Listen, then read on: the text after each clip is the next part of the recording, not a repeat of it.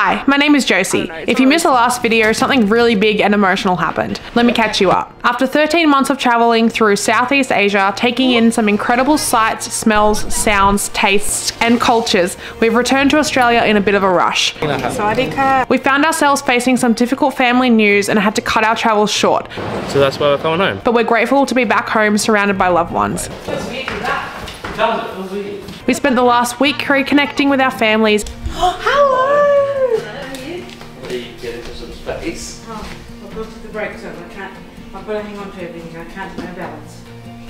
Don't worry. Come back. Yeah, good to see you too. Yeah. and of course, spending quality time with our best mate, Kappi. Say hi. Say hi. We're adjusting to life, visiting Australia, and we're excited to share with you what it's like. It's expensive here in Australia. and we'll be taking you along as we try some of our favourite Aussie foods that we've been craving. And then I eat the top.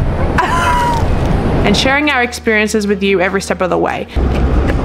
So sit back, relax, and join us as we rediscover Australia and navigate what it's like to be back home for now. Let's get started. So it takes about two hours to get down to Mum's house. Yeah, we don't have long because I know she's busy tonight. So oh. it's going to be a really short. What? It's hot. When you're in Australia and you have leather seats in the sun, yeah, you get burnt. We've been back for a few days. We got in on Tuesday night and now it's Thursday afternoon. So we were going to get a rental car, drive from the airport to my mum's house and see her and then drive to Michael's parents' house. The rental car was $1,600. So I haven't seen my mum yet. So I'm gonna surprise her and see her for the first time in over 13 months. Michael's parents' house to my mum's house is about a two hour drive. In Australia, it is super common to just drive two hours to get anywhere basically.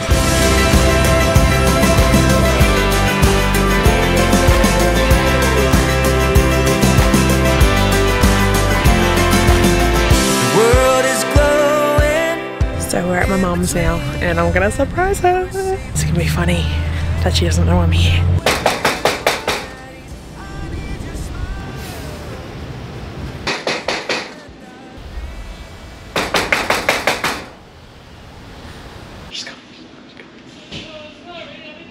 Sorry. Oh! Goes in the shower. Hello. Hello. Hey. Oh. What you doing? Just saying hi. Did you just come down for a drive? Yeah, just say hello. So my mum's having a, the rest of her shower now. We caught her off guard. But look, you come into an Aussie household and what's the first thing I see? Come give me a hug. Oh, still getting there. Hi, mum. How are you? Good. How are you? Ah. I spent the next week at my mum's house spending much needed time with her. We went down to the shops together and I had all of the Australian food I was missing. If you're in Australia and you feel like Chinese or something, well, I always get honey chicken. It's my favorite Chinese dish if you're having Chinese takeaway in Australia. After a week, Michael came down to pick me up again and brought Kappi for a sleepover before heading all the way back up to Newcastle. Come on. Out of bed. Time to get up. Come on. Out of bed. One, two, three. Good boy. No, no, no, no, no, no. Come on. Good morning. Oh, good. Oh, oh, oh, oh, oh. Hey, buddy. So we are just getting ready to leave mum's place now. We're going to Newcastle, so bye mum. Bye, Josie. Up. Go on. Up. That's as far. All right, see you soon. See you in like a week. All right, Nice to see you. Not me with my pajamas. So we're about to take the speci- specific. Specific highway. I mean, it is a specific highway. We're about to take the Pacific Highway from Sydney to Newcastle. This is actually a 7-Eleven, so I know that you've seen me at a few 7-Elevens around the world, but ours is a little bit different and not as fun or exciting. Just for reference as well, if I was to get a, I don't know, let's say a Coke, Australia's expensive and normally on like a hot day you'll come and get like a slushie in Australia and they have like a sugar-free option sometimes but this is a lemon lime bitters I don't really feel like that. I think it's number 10. Is it ready? You still going? Yes, then It's good? Yeah. So it's 119. Thank you so much. Thank you. That was $119. I'm trying to put it into perspective for you guys, um, but I put some prices on the screen. Michael's gonna wait in the car with uh, the dog. You can't leave, obviously, a dog in the car on a hot day like this. So I'm gonna go in and get us some sausage rolls and meat pies, which is such an Aussie tradition. So I'm excited to show you sort of what we eat here in Australia. And I didn't see this anywhere when we went overseas in Southeast Asia, so I'm excited to have one again. Um, could I, do you have a, uh, like a bacon and cheese or something? I do. I, I'm just waiting for them to come out the oven. I'll just check. I will wait for them. Cheese, my babies. All right, so here is an Aussie sausage roll with tomato sauce for Michael and a Aussie meat pie for me with barbecue sauce. There comes a time in your YouTube career when you just know you're gonna get roasted, all right? This is my time. If you're from Australia, I'm a little bit embarrassed, but I eat pies a kind of different way than most Aussies would eat pies. I put a little bit of the sauce on the top, eat the top bit off. Oh, it looks so good. And then I eat the top. and then what I do is put some of the sauce on the inside. So then I eat the filling, then I use the rest of the sauce, and then I eat the pastry. Delicious. And if you ever wanted to know, Australia doesn't have the death penalty for anything except for that abomination. I've got a sausage roll, which is colloquially termed in Australia as a rat coffin. So, yeah, they call them rat coffins because it's like a rat inside a coffin. That's a rat. Well, it's meat. Meat, rat meat. Well, it's no, it's uh, probably horse meat or something. I don't know. I've never heard it called a rat, Rat coffin. coffin. Yeah, baby. Yeah, let's go. So the reason they obviously call this the pie in the sky is because of this amazing view. And the mountains here are literally stunning. So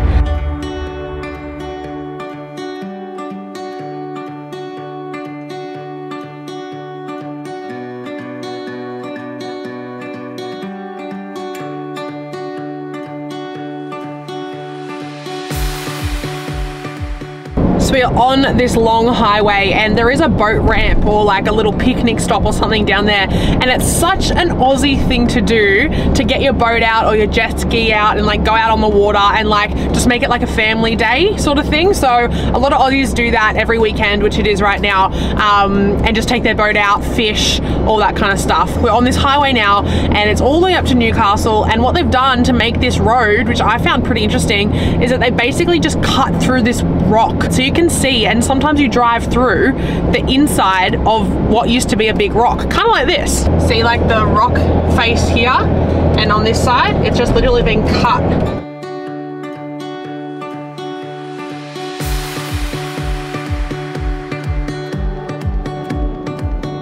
We've just gone pretty far way up the highway at the moment, um, but there's one thing that you can do, and one thing I absolutely love. Well, there's a lot of things I love about Australia, but one is that you can get drive-through coffee at Macca's, McDonald's, basically anywhere, and it looks like a normal Macca's. And we've had Macca's all around Southeast Asia, but Australia's the only one that does coffee at a drive-through and to this quality as well. So what was that? Just a hot latte with no sugar. What size? Medium, please. Full cream milk? Yes, please. Was that everything? Um, can we get a just an ice cream cone as well? Is that everything? That's all, thanks. Yeah, drive through. Cheers. That's right, yeah. Cheers. Cheers, thanks so much. you.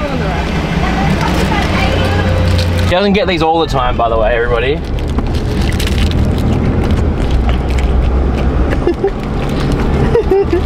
Yay! There we go. Oh, well, okay. Oh, oh, oh On. So we, what we'll do is, we'll go, we'll go back.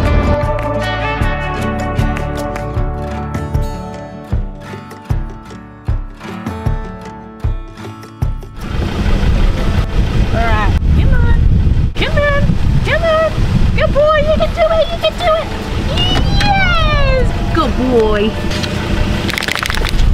So we are here at Michael's parents' house, um, but when we left, we basically put all of our stuff in storage or um, in the house. And Michael's brother's been living in Michael's house while we're gone, so we can't stay there. We're at his parents, so we don't have a bed, so we're just on kind of a mattress on the floor at the moment.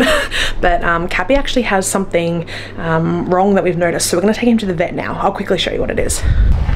Hi. Hi. If you're like squirmish or don't like seeing, it's not bleeding or anything, and it's not like a gaping hole or anything. It's just a little lump, but look off for the next 10 seconds, five seconds. Hey, thing there. I don't know if you can see that, but it's a big, big red lump. Mm, you're okay. And um, we just came back and noticed it. And um, Michael's brother, who's been looking after him, just let us know that it's not um, like going away or anything. He's had antibiotics, so we're going to take him to the vet today and see what to do. Look at his tail going around in circles. okay, let's go see what you're doing. I have to drop you and find a park. Okay. Come on. Come on, Cap. Yes, good boy. Hello. Good. So this is Happy. We're a little bit late. but often those aggressive skin ones, if that's what it is, if we can get it out with margins, which is in a good place for that, Yeah. yeah, that's not what we like. No. Gentle. Gentle. A little bit better than you. We'll see you in the morning. We'll see you then. Thank you so much. Say goodbye. See you, mate. I'll see you soon. Thank you. Okay, so basically she didn't really like that it was growing that fast. Um, there was a cancellation for surgery tomorrow morning, so we're dropping him back tomorrow morning and picking him up tomorrow afternoon, early arvo, and he's going to get his lump removed and just the area They surrounding. think it's cancerous. They do think, well, she didn't say that. She's just a little bit worried Basically said about it. So it could be skin cancer. We'll see tomorrow. It takes about a week to get the results. So, one after another thing with us right now, isn't it? That word this with this week. Thank Thanks so you. much. You're a sniff.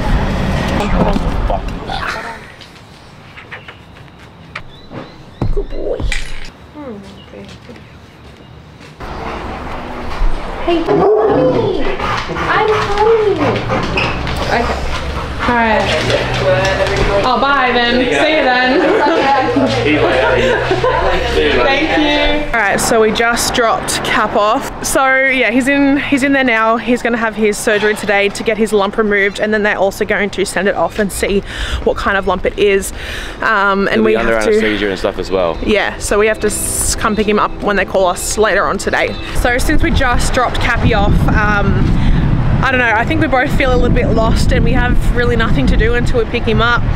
Um, and we're both just feeling a little bit, I think, overwhelmed about everything.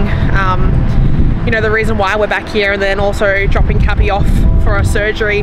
It's it's a lot, but I think we're both a little bit worried and like maybe a little bit stressed about Kappi. Like, you know, we've come home. Obviously, we are meant to come home at this time. I know it's really windy here, but it's an obvious sign that now is when we are meant to come back with everything that's going on with like our family, and then Kappi happened as well. And um, I think we better go get some food for dinner. What do you reckon? So we're actually on the way home right now, but we came over the crest at Bar Beach and I saw these paragliding or like parasailers. And there's like I don't know one two three four five there's heaps of them. And I can see them like surfing with the wind and on the waves and everything. I just wanted to show you. It looks so stunning. It's really windy right now but look at them. Someone here. All over here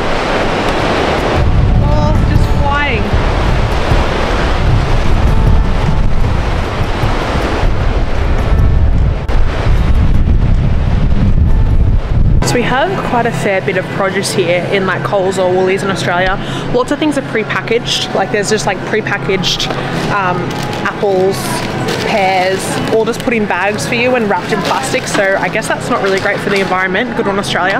But you can get them without. There's red pears, apples. Oh, I see one fruit. Let me know if you know what this is. I think this might be only like an Australian thing or like a New Zealand Australia thing. So tell me, look, I'll show you. So it is hairy, kind of small. It's a little bit soft and it's got heaps of little hairs on it. I don't know if you can see that. What is this fruit called? Leave me in the comments below. I could do sausage. I'll have a sausage. On a bun and stuff? Yeah. Yeah. yeah. So I got some good ones. What'd you I get? got regular ones for dad because dad's plain. So then what we normally would do is grab like some bread and just pretty much put the snag in the bread. Snag is sausage. So we're just gonna find some bread now to put it in. They're only crusty ones though. No, I don't like the crusty ones. You're in luck. They're the regular. Yeah, soft ones, soft ones. Soft and then crusty for me and dad. Look at these, these look familiar. I've seen these in like Malaysia, everywhere. Ooh. $37. Which is about four times the amount. So for a little bit of bread, a little bit of meat, and like two two snacks, and some onions. It was $37. So I'm gonna leave the conversion on the screen um, to might be relevant to your country. But yep, it's expensive here in Australia. okay, so we just got the call um, that Kappi's ready after surgery to pick up. So we're gonna go. alright. He's He- doing He okay. came through surgery okay. He's like alive, but he's they had to cut quite deep into his belly. So- Yeah, because she wanted to get all the surrounding um, around the lump uh, just in case it had spread a little bit. So let's go get Kappi. Oh, calm down, calm down. Oh wow, he's like, oh, oh. Beautiful. He managed to um, smash the cone that we had on him, so we're just getting up a new one. Thank you. So, Hi. Hi. You can do it. Yeah. I think we'll end up with a foam one in about Two seconds. Probably on the way home. This is a very typical Australian afternoon. You normally hang out by the barbecue. I don't know, it's not really sunset yet, but it's about to be. It's quite late actually. It's seven o'clock at night, so it's usually during daylight savings still pretty light. And then you come out normally with a beer and cook your dinner on the barbecue outside. Very Australian. So good way to end the day usually.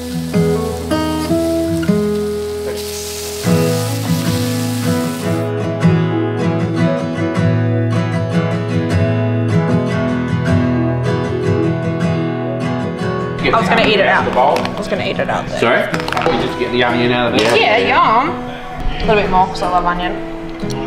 Half there. Half there. All right, and then I want barbecue sauce. This is the great Australian debate. Barbecue or tomato sauce?